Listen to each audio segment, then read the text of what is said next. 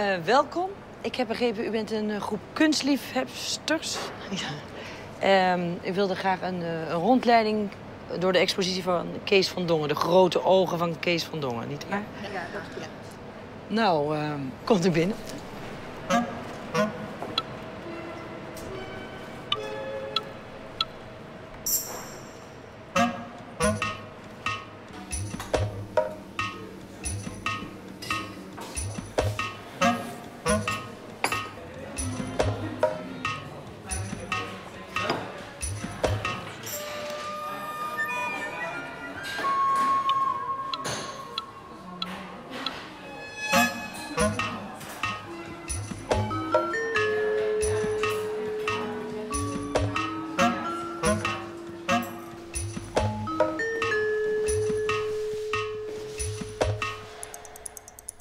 Ja, hallo.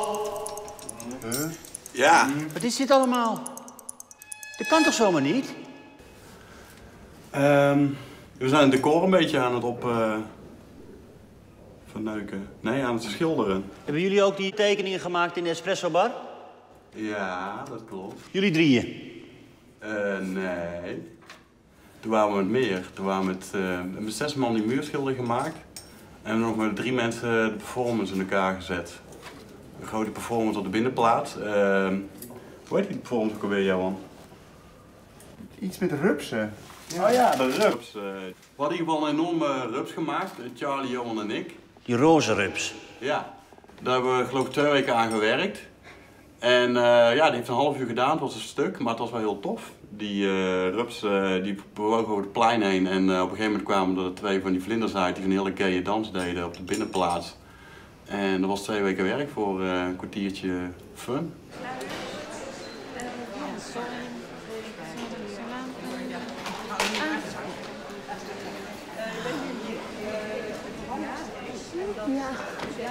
Zijn er nog telefoontjes geweest?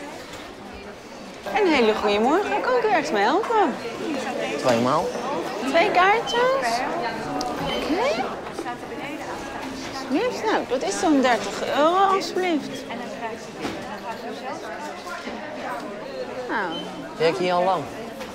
eh, nou, nou bij elkaar opgeteld zou het ja, iets van in, ja, in september begonnen. Dus dat is nou, oh, hoeveel is het vandaag? Weet je wat... eh, Ja, al die kleuren van jouw lippen met je... Met tot eronder. Ja, nou, eh, heel, heel erg leuk dat, dat u dat zegt.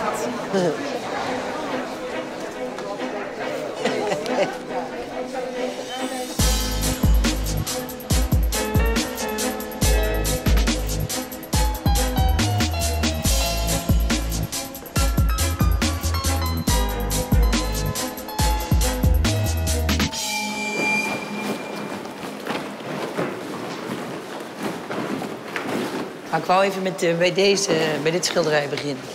Dit is een eh, zelfportret van Kees van Dongen. eh, uit 19, eh, heeft hij in 1908 geschri- eh, geschilderd. Toen was er nog niet zo lang elektrisch licht. Dat had hij ook in zijn atelier. En dat rood kan daarmee verklaard worden dat hij misschien rood licht gebruikte om te schilderen. Maar het kan ook een soort grap zijn naar de critici die hij op dat moment had. Omdat hij bekend staat als schilder van het nachtleven en van de bordelen en rode lichten. Eh, dit heet Zittende Vrouw. Een vrouw op een berg, is het ook wel genoemd. Ehm, meestal schildert die, die vrouwen staand, maar deze zit dus. Van Dongen schilderde dit toen hij 18 was. En ehm 10, 12, 15 jaar later heeft hij de achtergrond opnieuw geverfd... en heeft het altijd in zijn atelier gehangen. En het staat een beetje voor de dubbele identiteit. De, de, de, de wildstijgerende wereldburger en de nuchtere Hollander. De koe en het, eh, het paard. Wat is antistrot? Het was eigenlijk een groep jongens en, eh, en, en meiden die zich afzetten tegen bepaalde, eh, tegen bepaalde sores en mores die heersen op de academie. Het was allemaal heel braaf, als we opge, in- ingedeeld in disciplines. En eh, ja, het was eigenlijk meer een soort eh, eh, vak de regels benadering. En eh, ja, Dat van daaruit ontstond een bepaalde enorme creativiteit. En eh, vanuit die vrijheid van het denken en het doen eh, was er gewoon heel veel mogelijk. En dat is waar Antistrot voor stond. Wat is er gebeurd dan? Iedereen werd zo woedend van de, Van de rups. van de rups. Dat er nu eh, een hard gedeelte en een zacht gedeelte is overgebleven. Zijn jullie hard of zacht? Dit is de harde, dit is de harde groepering. Lijkt wel op jou. Dan op dat, dat je met die ogen zo. Oh. Ja. En ehm, komt, u, komt u hier vaker? Wat? Komt u hier vaker?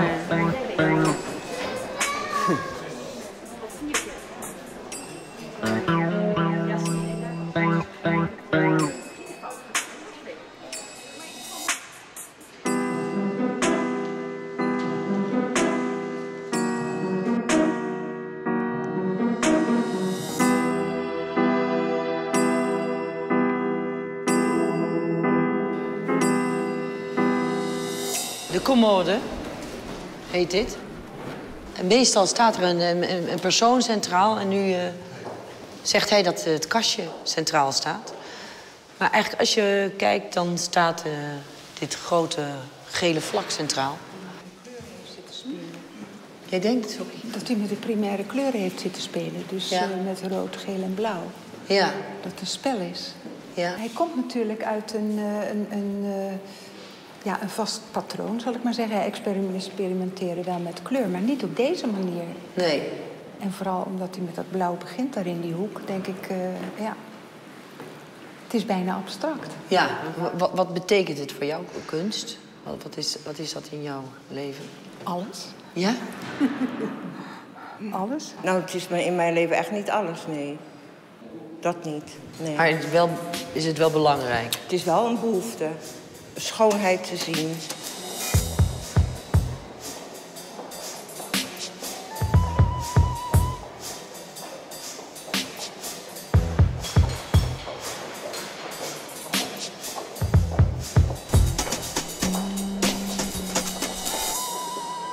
Hoe komen jullie zo destructief? Ja, Ik weet niet, je moet ook anders heel de tijd met die spullen rondsjouwen. En dan krijg je op een gegeven moment steeds meer ballast. Je kunt wel altijd blijven, bij je blijven houden. Maar dan heb je op een gegeven moment drie eh, warenhuizen vol met spullen en andere zooi. En eh, ja, een beetje vernietiging en creatie hoort bij het leven. Hè? Precies. En dan alles komt aan een eind. En dan Ja. heb je weer plek of tijd voor iets nieuws. Wat vinden jullie dan van dit museum? Er staat een hoop troep daar beneden. Ja, eh, alles ligt in die depots. En dan, eh, ja, dat is heel jammer dat het onder water loopt. Maar ja, wie ziet dat werk? Ja. Er komen per dag 2 tot 3000 mensen naar die oude Van Dongen kijken. Hoeveel mensen denk je dat er naar jullie kwamen kijken toen je het orgel aan het slopen was? Twee? Eén? Ja, nee, dat klopt. eh, dus eh, daarom. eh, daarom is Daarom mag dat ook weg. Daarom mag het ook weg, ja, precies. Ja. Dit schilderij heet à la galette. Eh, dat eh, is geschilderd in een eh, nachtclub waar hij een fervent bezoeker van was. Hij was in die tijd wat eh, had Van Gogh net gezien. Dat kan je duidelijk zien in zijn stijl. Maar wat interessant is aan dit schilderij is natuurlijk dat je denkt van wat een merkwaardige kader heeft hij genomen met die vrouw dat hij die zo half heeft doorgesneden. En dat heeft een hele eh, platte reden. In de jaren 50 werd Van Dongen ongelooflijk, werd zijn werk ongelooflijk veel geld waard. En toen heeft hij, dit schilderij is een zesde van een grote schilderij. Hij heeft een, schilderij in zessen geknipt. En dat dus zes keer kunnen verkopen. Dus we zien hier de commerciële Van Dongen. Die ehm, nou, dus heel goed op eigen benen kon staan. Wat men eh, tegenwoordig toch eh, graag wil dat kunstenaars niet meer hun eh, handje ophouden. Er komen slechte tijden aan voor kunstenaars, hoorde ik. Wat denken jullie daarvan? De echte kunstenaar die moet toch wel, die gaat toch wel door. Die gaat toch wel maken wat hij moet. Ik denk dat het op zich wat dat betreft ook prima is voor de, ja, een, een nieuwe impuls geven aan een creativiteit. Ah, Los het, los, los het maar op.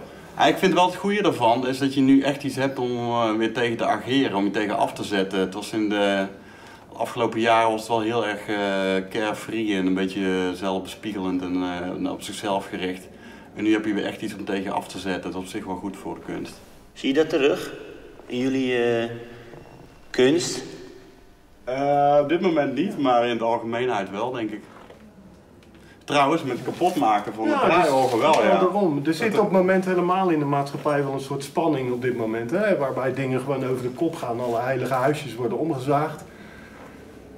Ja, we vonden wel iets gewoon voor, eh, gewoon van het weggooien van het afgelopen decennium. Eh, En ja, antischotten dan ook uit elkaar. En dat is dan gewoon allemaal van de jaren nul geweest. En dat was prima, maar dat is nou over. En dat is nou gewoon een nieuw tijdperk.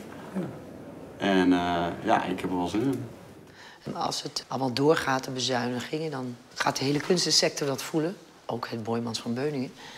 Maar begrijpen jullie de irritatie die er bestaat, of de weerzin zelfs? Je moet moeite doen voor cultuur. Hè?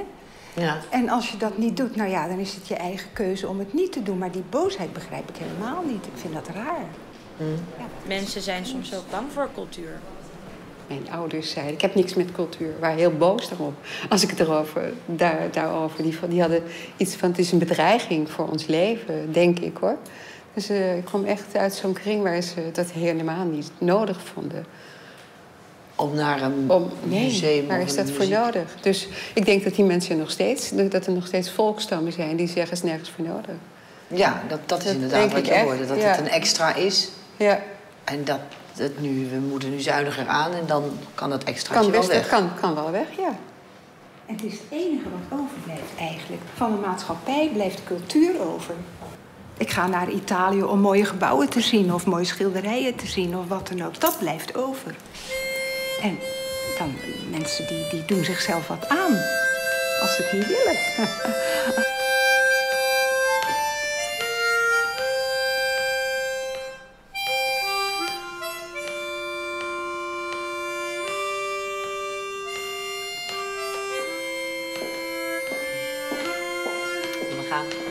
We gaan. Dus als u wil.